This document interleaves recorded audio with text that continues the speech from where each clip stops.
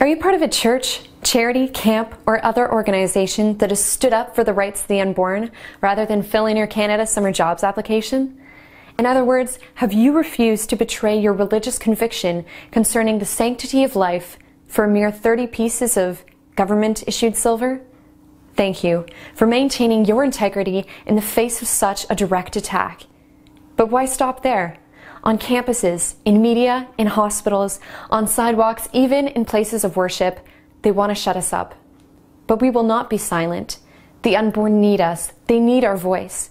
If you've been playing your cards close to your chest, now is the time to show your hand.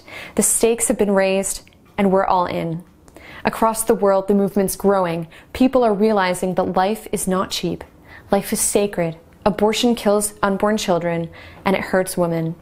On May 10th, join thousands of Canadians in Ottawa on Parliament Hill to show the government that we stand up for what we believe.